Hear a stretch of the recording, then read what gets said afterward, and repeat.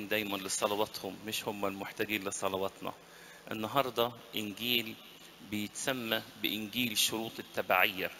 السيد المسيح وهو ماشي في جموع كتيرة ناس كتيرة قوي ماشية وراه طب الناس الكتيرة دي ماشيين ورا مين؟ ماشيين ورا المسيح اللي بعد شوية أو بعد كم يوم هيشيل الصليب ويتعذب ولا ماشيين ورا المسيح اللي بيصنع المعجزات؟ طبعا الأعداد الضخمة تبقى ماشية ورا المسيح اللي بيصنع إيه؟ المعجزات. العالم كده العالم دايما يمشي ورا الإيه؟ القوة. يمشي ورا الشيء البراق اللي بيدي لمعان بيدي سلطة. يدي يقول لك أنا كنت امبارح ماشي مع الوزير الفلاني. أنا كنت امبارح سلمت على المحافظ الفلاني. يبقى الإنسان مبسوط كده في زهو. فعدد كبير ماشيين تعرفين إحنا النهارده كنا ماشيين مع مين؟ آه مع الشخص اللي عمل وأشبع الخمس آلاف. مع الشخص اللي شفى مرضى كتير وأخرج شياطين. الناس فرحانة. فالسيد المسيح كان صادق. هو عارف هم ماشيين ليه. فحب يكون معاهم صادق. بصوا يا جماعة أنتوا عاوزين تمشوا ورايا؟ آه. طب خدوا بالكم اللي يمشي ورايا يبقى فيه حاجات لازم يكون عارفها. إيه هي يا رب؟ أول حاجة من, من يأتي إلي ولا يبغض أباه وأمه وامرأته وأولاده وإخوته وأخواته حتى نفسه أيضا فلا يقدر أن يكون لي تلميذا. يا رب أنت بتأمرنا أن إحنا نكره الناس. قرايبنا؟ لا أنا مش عاوزكم تكرهوا قرايبكم ده أنا حتى أعدائكم عاوزكم تحبوهم. أحبوا أعداءكم باركوا لعنيكم احسنوا إلى مبغضيكم أمال إيه دي يا رب؟ يعني ما يحبش حد أكتر مني. زي ما قال كده في إنجيل معلمنا متى. يقول إيه؟ من أحب أبا أو أما أكثر مني فلا يستحقني ومن أحب ابنا أو ابنه أكثر مني فلا يستحقني. في مواقف كتير بتتعارض محبتنا لأولادنا مع محبتنا لله. يعني ساعات علشان إحنا عاوزين يعني نفيد ولادنا نقول لهم إيه؟ يا ابني لو في سؤال انت اتزنقت فيه ما فيهاش حاجة لو انت خدته من زميلك اللي جنبك. ما فيهاش حاجة وربنا يسامحك. بنقول كده لاولادنا يبقى دي محبة آه بس محبة إيه؟ تتعارض مع محبة الله. فدي محبة مرفوضة. يبقى أنت لا ينطبق عليك شروط التبعية. يبقى أول شرط أحب الله أكتر واحد أكتر من أي حد تاني. الله هو الأول في حياتي. الوصية هي الأولى في حياتي. ما هو ده بشكل عملي. أحب الله إزاي بشكل عملي؟ بيبان في سلوكياتي. أنا هعمل إيه؟ لما أتحط قدام موقف في اختيارين.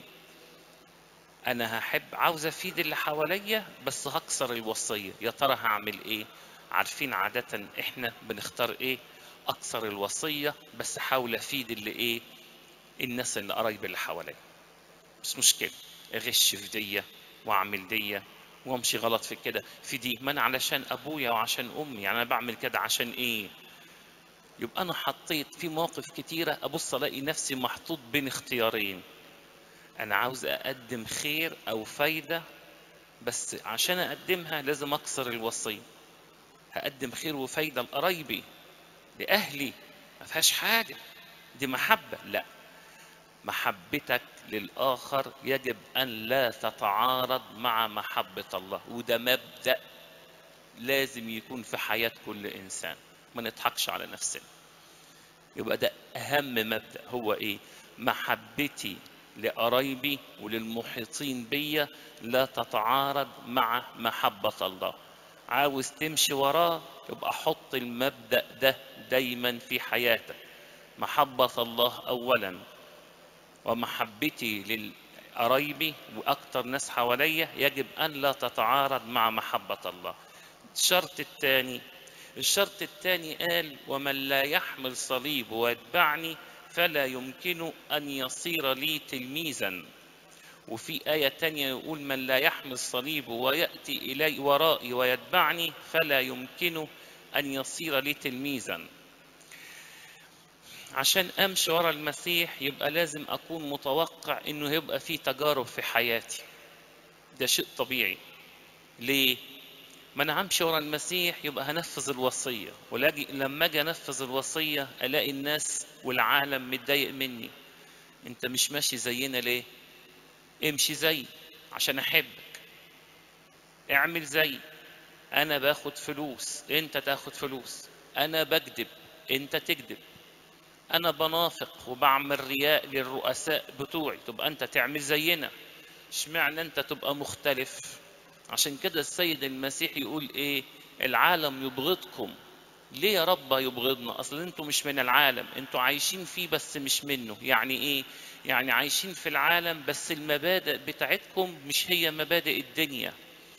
وعشان كده الناس هتزعل منكم.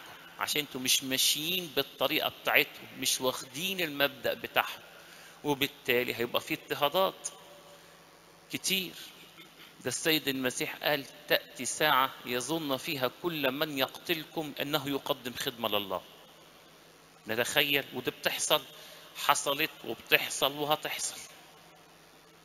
فدايما الإنسان يكون عنده استعداد لإحتمال التجربة ومواجهة التجربة ويعرف ويعرف إن التجربة دي مش شر. التجربة خير لو الإنسان قدر يحتملها ويواجهها بطريقة مظبوطة. طيب ولازم تعرف إنك مش أنت الأول واحد شلته هو شاله قبلك. السيد المسيح أي وصية قالها هتلاقيه هتلاقيه هو نفذها قبلنا. ما بيقولش وصية ما نفذهاش. ابدا. يبقى لازم تكون عندك استعداد لحمل الصليب. يبقى أول شرط محبة الله أولا قبل محبة أي حد تاني. وده عبرنا عنه بكلمة إيه؟ إذا تعارضت محبة الله مع محبة الآخر فاختار دايما محبة الله. الشرط الثاني أكون عندي استعداد دايما لحمل الصليب ومواجهة التجارب. شرط ثالث يتبعني. يجي ورايا ويتبعني. يعني إيه يجي ورايا؟ يعني انت مش هو هيمشي في طريق امشي زيه. اعمل زي ما هو كان بيعمل. هو ادانا مثالا لكي نتبع خطواته. السيد المسيح ما قالش كلمة لو عملها عشان كده يقول الكتاب إيه؟ من قال إنه ثابت فيه إنه كما سلك ذاك هكذا يسلك هو أيضا. يبقى اللي بيقول ان أنا ثابت فيه ينبغي إنه كما سلك ذلك هكذا يسلك هو أيضا. أنت ثابت فيه وبتحبه آه اعمل زي ما هو كان بيعمل. يقول لك من لا يحمل الصليب وياتي ورائي ويتبعني فلا يصير لي تلميذا. يعني إيه يأتي ورائي؟ يعمل زي ما أنا كنت بعمل. أنا كنت بتشتم ومش برد. أنا كنت بسامح على طول. أنا كنت بصلي. أنا كنت بصوم. كل ده السيد المسيح ما كانش بيعمله علشان هو محتاج إليه لأن هو بار. لكن كان بيعمله علشان يدينا مثال لكي نتبع خطواته. عشان كده الإنجيل بيقول تاركا لنا مثالا لكي تتبعوا خطواته. وبعدين إيه خطواته؟ الذي لم يفعل خطية ولا وجد في فمه مكر. الذي إذا شتم لم يكن يشتم عوضا عوضا.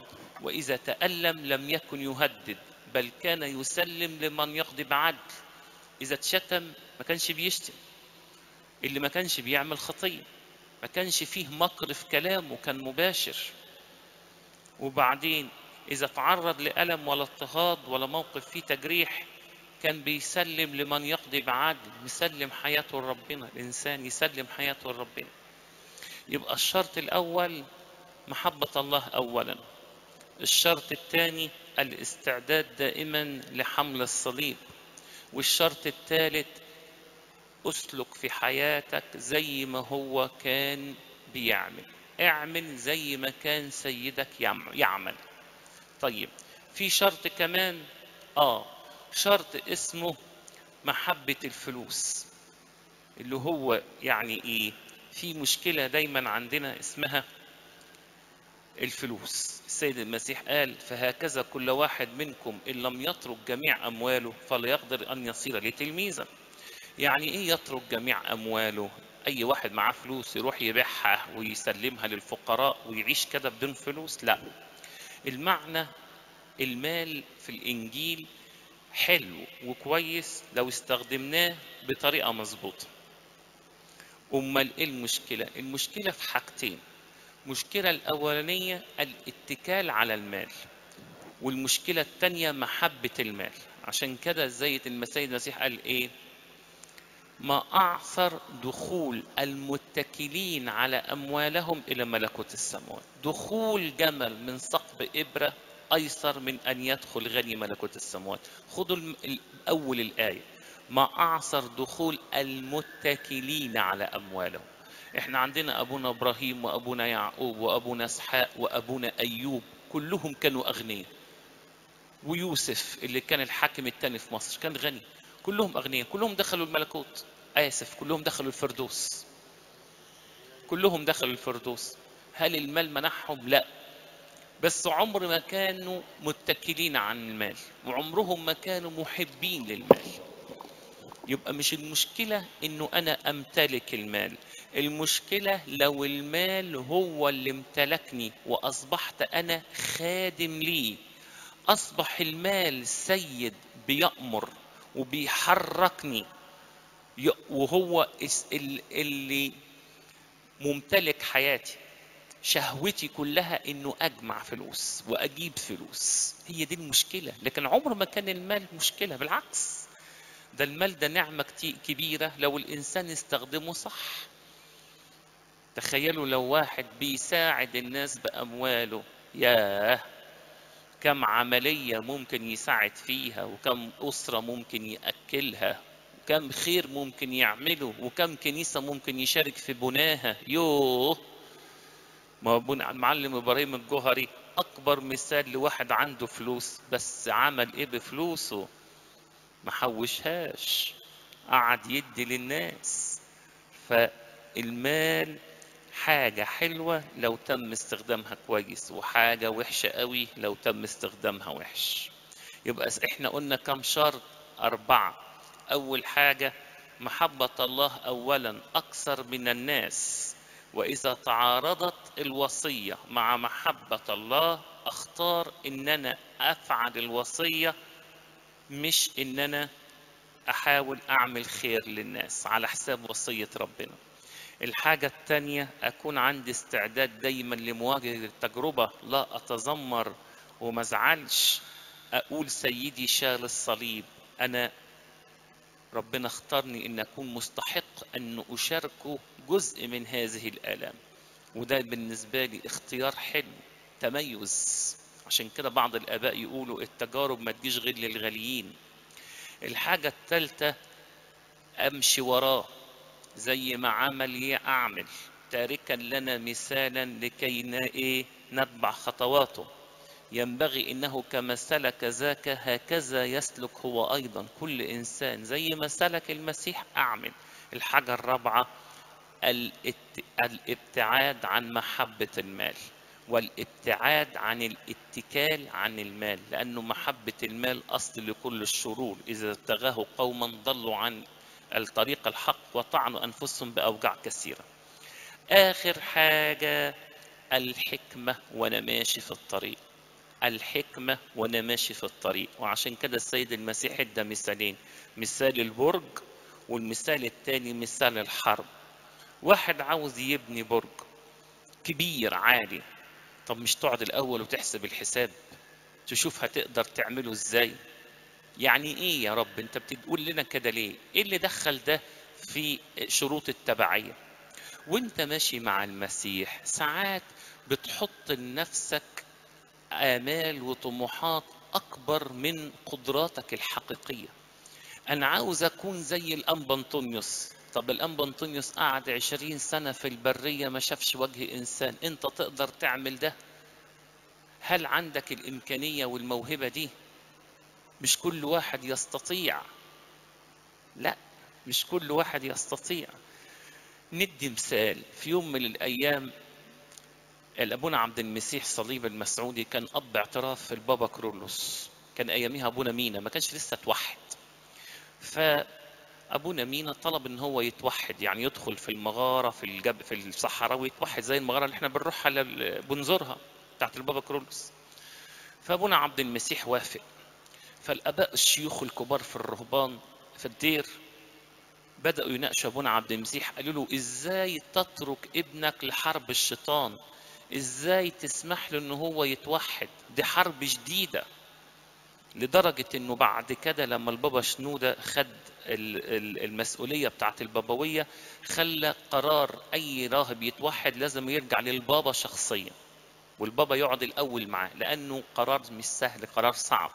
البابا شنودة توحد برضه فعارف يعني إيه توحد.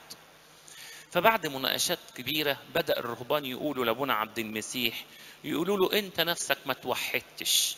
إزاي عاوز تطبق على ابنك حاجة أنت نفسك ما عملتهاش؟ قال لهم هو عنده الموهبة هو عنده الوزنة هو يقدر لكن أنا ما أقدرش. في مواهب في قدرات أعطاها الله للبعض ولم يعطيها للبعض الآخر. فالإنسان وهو في حياته يقول لك أنا عاوز أبقى زي الأنبا أنطونيوس. طب وماله؟ حاضر. إنه أسعى للمثال العالي. حلو. بس احسب الحساب كويس. شوف إمكانياتك. شوف مواهبك ووظفها بطريقة سليمة. وفي النهاية أنت هتاخد نفس الأجر. أصحاب صاحب الخمس وزنات الله اداله خمسة. وصاحب الوزنتين الله اداله وزنتين. بعض الناس يقول لك أنا عاوز أعيش بتول لكن هو صفاته وطريقته ما تسمحلوش بكده. فيختار طريق ويتعذب وما يقدرش عليه. واحد تاني يقول لك أنا أسيب كل أموالي وبعدين يندم ودي حصلت فعلا. واحد في مرة ترك كل أمواله ووزعها وبعد أسبوع قال لك لا الموضوع ده ما ينفعنيش رجعوا لي الفلوس تاني. أنا مش عاوز. فالموضوع عاوز إيه؟ احسبها إيه؟ جيدا زي الشاب الغني. راح للسيد المسيح قال له أعمل إيه عشان أدخل الملكوت؟ قال له احفظ الوصايا. لا تقتل لا تزني لا. قال له هذه كلها حسبتها منذ حفظتها منذ إيه؟ حداثتي. ماذا ينبغي أن أفعل أيضا؟ قال له إن أردت أن تكون كاملا. دي درجة عالية بقى مش كل واحد يقدر عليها.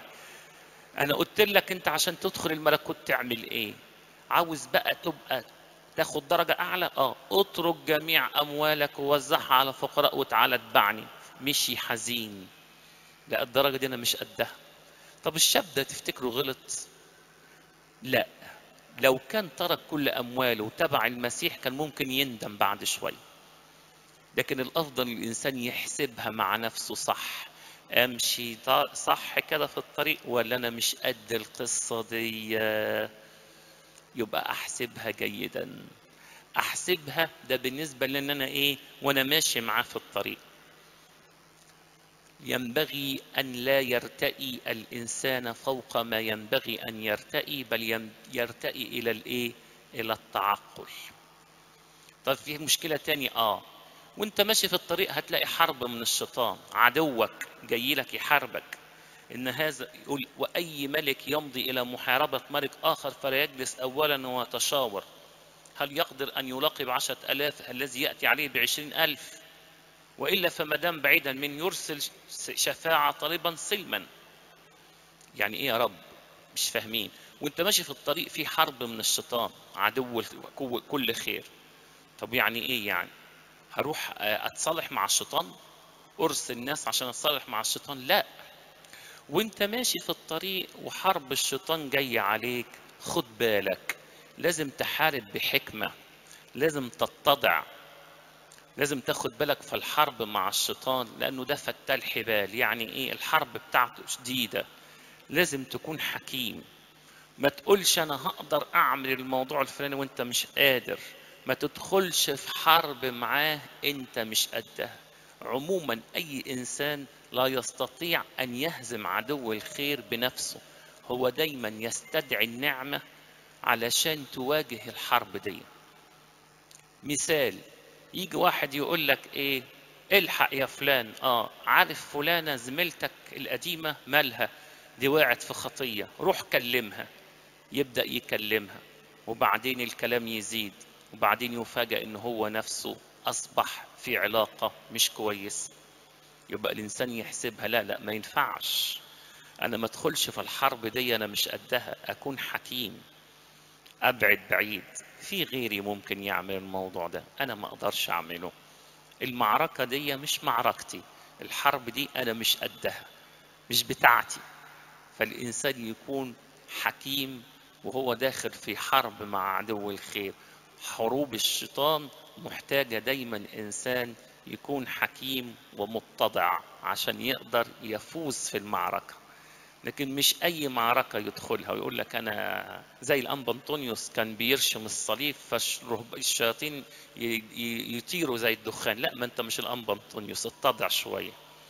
مفيش داعي للموضوع ده. أنت مش قد الحرب دي. فما تدخلهاش. ابتعد بعيد عن هذه الحرب. لكن إذا ربنا لقيتك إنك أنت مضطر للمواجهة ففي الحالة دي بتصلي فنعمة ربنا هي اللي هتحارب مش أنت. يبقى إحنا النهارده خدنا إيه؟ شروط التبعية. وقلنا عن شروط التبعية. أول حاجة محبة الله أكتر من أي محبة أخرى. وإذا تعارضت محبة الناس مع الوصية فاختار دايما ان أنا انفذ الوصية حتى لو أنا هزعل الناس مني. الحاجة التانية الاستعداد دائما لحمل الصليب ومواجهة التجارب. والحاجة التالتة أمشي وراه زي ما هو سلك أنا أسلك. هو ترك لنا مثالا لكي نتبع خطواته. والحاجة الرابعة الأموال لا أتكل عليها. ولا تكون للمال محبة جوه قلبي تفوق محبة الله. والحاجة الخامسة وأنا ماشي أكون حكيم. ما بصش لأمثلة وأختار طريق أنا مش قده. ينبغي للإنسان أن يرتقي فوق ما ينبغي أن يرتقي. أعرف كده صفاتي أعرف وزناتي وتاجر بيهم مش أفضل أبص الأمثلة عالية أنا ما أقدرش أمشي زيها. حاجة كمان وأنا ماشي بحكمة في الحرب مع عدو الخير ما أدخلش في حروب أنا مش قدها. لا مفيش داعي للدخول في الحرب دي. الحرب دي ليها ناس تانية لكن أنا لا أستطيع أن أدخل في هذه المعركة. وفي النهاية لو أنا اضطريت للدخول أو اتفرضت علي الحرب بستدعي نعمة الله عشان تواجه مش أنا أواجه بنفسي. الله يعطينا إن إحنا نمشي وراه زي ما هو قال لنا وإلهنا المجد دائما أبديا أمين. ونية خنو مسمين يسوع ابتبايو بوي بوي كطب